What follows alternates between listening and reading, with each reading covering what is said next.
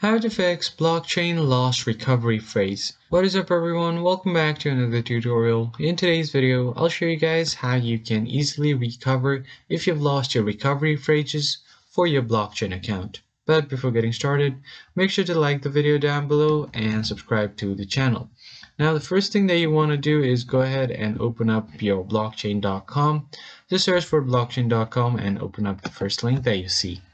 And once you land on the home page, you have two options on the top right. Either you can log in if you already have an account or if you don't have one, you can sign up for a new account. So if you have lost your recovery phrase, then I'm assuming you already have an account. So go ahead and tap on log in.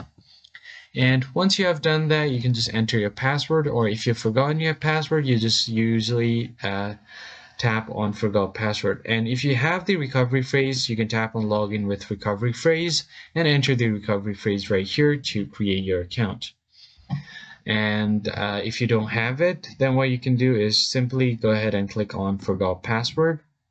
And it will take you to another site where you have an option to enter the uh, phrases but what it will do is it can also send you an email on the email that you've just uh, selected. So you can just select the email or you can uh, if you have the phone on your uh, if you have the app on your phone you can use by logging in uh, via the QR code. You can just scan this code on your app and you should easily be able to log in it will also send you a recovery phrase on your email if you tap on forgot password and you can enter that code to recover your account and it's as easy as that. I hope you found this tutorial helpful. I'll see you on the next one.